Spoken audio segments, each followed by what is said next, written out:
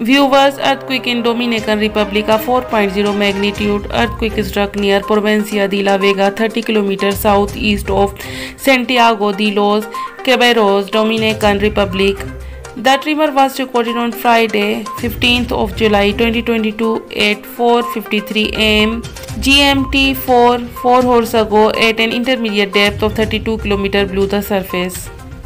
The event was filed by the United States Geological Survey USGS, the first seismological agency to report it.